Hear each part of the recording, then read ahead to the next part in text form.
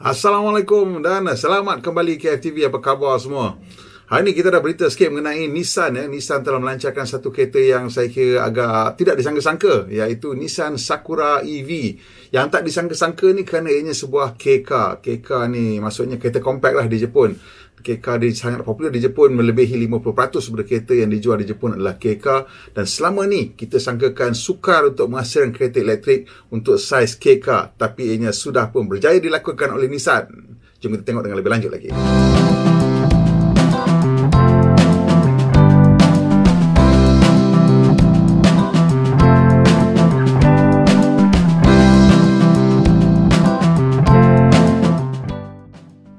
Jadi Nissan telah berjaya menghasilkan sebuah kereta compact ataupun KK menggunakan kuasa elektrik sepenuhnya. Selama ini kita rasakan mungkin tidak boleh dihasilkan dalam masa terdekat kerana kos bateri terlalu tinggi.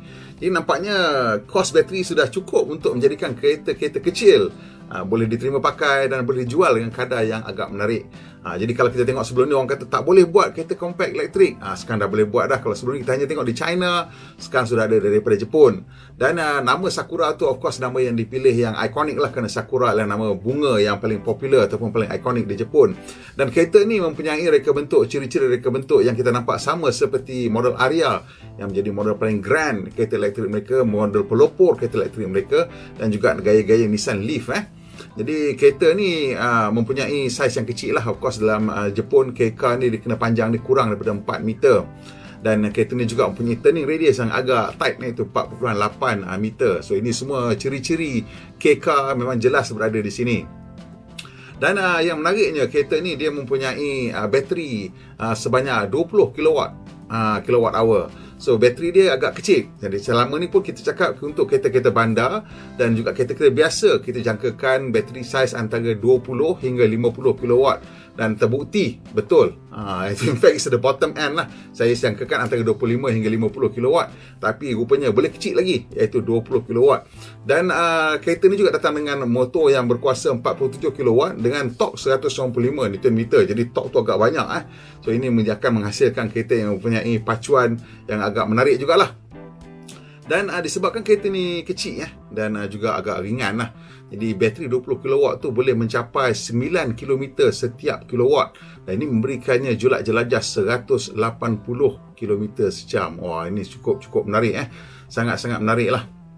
Jadi kalau kita tengok uh, kereta ni, dia punya berat dia uh, sekitar 1070 hingga 1080 kilogram.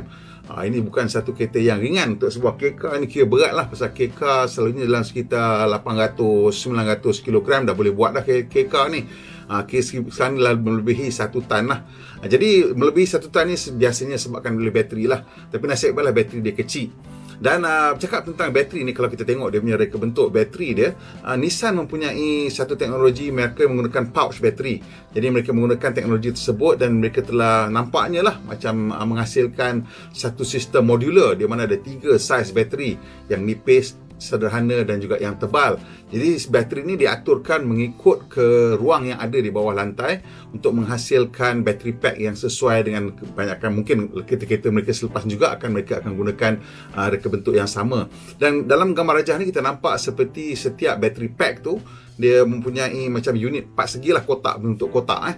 So nampak macam itu berada di dalam uh, sarungan logam sudahlah. Jadi mungkin dia punya battery pack tu ada luar lagi, satu lagi pack yang lebih besar yang uh, mengandungi semua benda ni lah. Uh. Dan uh, untuk itu kita tengok bateri ini berada di bahagian tengah-tengah bahagian kereta. Di mana di atas bateri itu juga ada lagi kerangka kukuh yang membantu untuk melindungi bateri. Dan bateri itu jauh-jauh ke tengah. Eh. So kat tepi-tepi juga ada banyak lagi struktur yang boleh uh, melindunginya dalam situasi impact CC. Uh, so keselamatan bateri ini adalah satu yang sangat penting kerana bateri ialah komponen yang paling mahal dalam sebuah kereta elektrik. Dan kalau accident nak kena ganti agak mahal lah kosnya. Jadi kos ni untuk syarikat kereta kalau accident dia mungkin tak kisah sangat tapi mungkin syarikat insurans lah akan memandang mm, serong sikit lah kereta-kereta yang tidak melindungi bateri mereka dan mungkin akan mengenakan uh, kadar insurans yang lebih tinggi. Jadi ini salah satu ciri ataupun sebab saya rasa kenapa kereta ini mempunyai reka bentuk bateri yang begini. Dan dari segi pemanduan pula, kita nampak kereta ni telah diberikan uh, uh, sistem gantungan yang agak okey jugalah. Depan tu McPherson strut macam biasa dan dekat belakang menggunakan uh, ganda beam axle dengan trailing link dan juga panhard locator rod lah. Jadi panhard rod ni dengan beam axle ni dah banyak terbukti lah sebagai satu gandingan yang cukup bagus untuk menghasilkan pemanduan yang dynamic. Ha, ni bergantung kepada tuning lah of the chassis. Tapi kereta macam Side tu pun menggunakan ha, dia punya gantungan yang sama.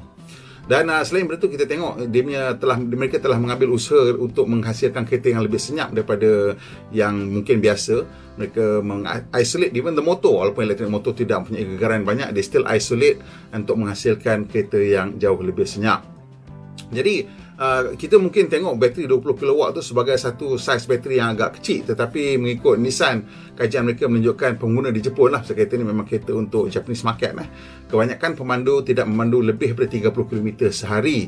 Jadi bermaksud kalau begitu hari Isnin kalau hari malam Ahad kita charge uh, sehingga penuh kan. Kalau menggunakan rumah punya charger yang uh, single phase uh, katalah memerlukan 8 jam lah untuk charge hari Ahad malam So boleh mandu Isnin sampai Jumaat tak payah charge lagi uh, sampai hujung minggu mungkin kena charge untuk penggunaan hujung minggu dan hari Ahad charge lagi sekali.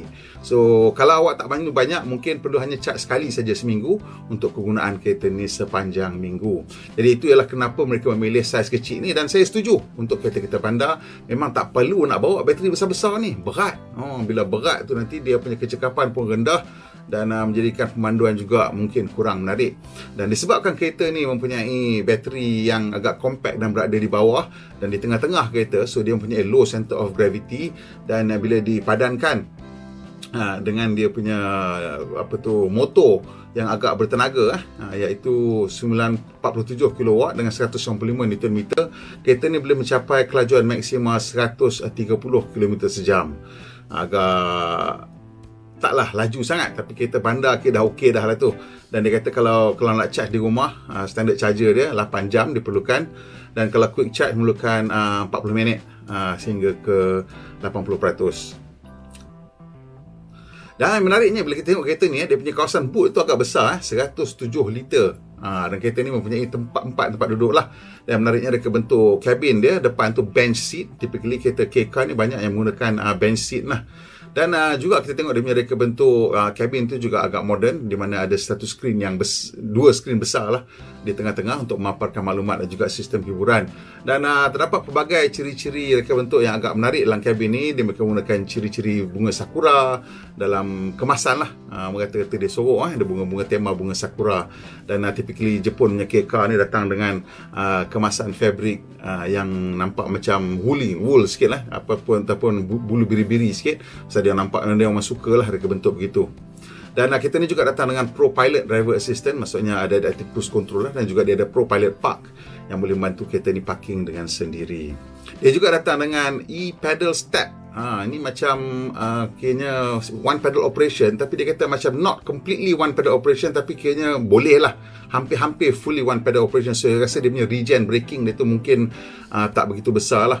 Jadi bila kereta-kereta kecil ni mungkin kenapa dia punya regen tak begitu besar mungkin kerana saiz bateri pun kecil motor pun kecil so mungkin power regen dia tak cukup banyak lah untuk memperlahankan kereta. So dia dia tidak boleh macam fully uh, one pedal operation itu menurut Nissan lah saya pun tak tahu uh, betul ke tidak sebenarnya kereta ni tak boleh uh, dihasilkan dengan one pedal operation juga kereta ni mempunyai teknologi vehicle to load. Ha, VTL maksudnya kalau kita blackout kat rumah kita boleh cocok bateri ni masuk ke rumah jadi dengan 20 kW ni. Kebanyakan rumah di Malaysia tidak menggunakan sampai 20 kW bateri sehari. Jadi maksudnya kalau blackout setakat beberapa jam tu memang boleh sangat. Kalau sehari suntuk pun mungkin boleh lagi. Tapi mungkinlah awak tak mau pakai bateri kereta sampai habis kan? Tapi at least sekurang-kurangnya untuk lampu sikit-sikit aircon mungkin tak boleh pakai.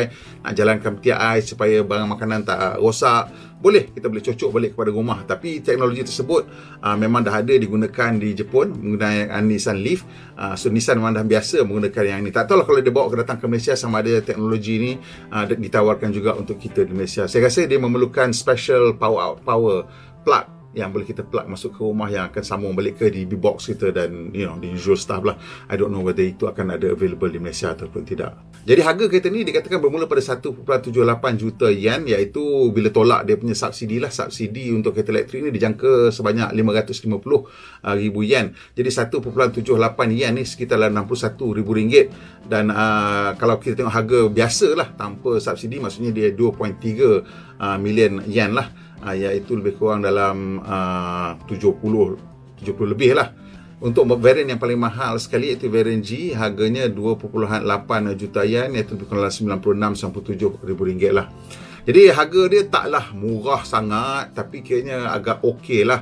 Untuk kereta kecil mungkin orang akan rasa agak premium. Ha, tapi kalau dapat macam tax break ke ataupun dapat subsidi ke ha, jadi harga dia agak menarik lah RM61,000 tapi kalau tanpa subsidi yang paling murah ialah sekitar dalam RM78,000 lah. Dan yang paling mahal sekitar dalam RM96,000 so ada perbezaan antara RM18,000 antara yang paling murah dan yang paling mahal. So, ok sampai situ je video kita hari ni. Macam mana? Kalau kereta ni sampai ke Malaysia adakah awak akan berminat untuk membelinya? Saya rasa ini satu pilihan yang agak menarik untuk mereka-mereka yang tinggal di bandar. Terutama sekali kalau harga ni harga ni dapat dijadikan lebih cantik lagi lah. Uh, mungkin tak begitu kompetitif kalau kita bandingkan dengan produk-produk daripada China.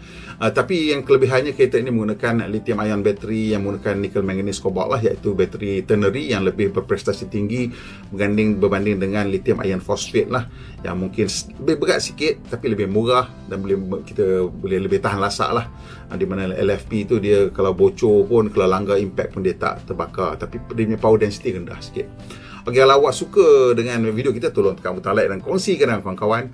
Dan macam biasa, tolong tekan butang subscribe dan juga tekan butang loceng supaya dapat uh, makluman bila kita banyak video terbaru. Mandi Malaysia, Mandi Berhemah. Uh, kita jumpa lagi. Eh, tolong tolong komen kat bawah. Awak, kalau ada kita ni sampai ke Malaysia, awak nak beli ke tidak? Mandi Malaysia, Mandi Berhemah. Kita jumpa lagi.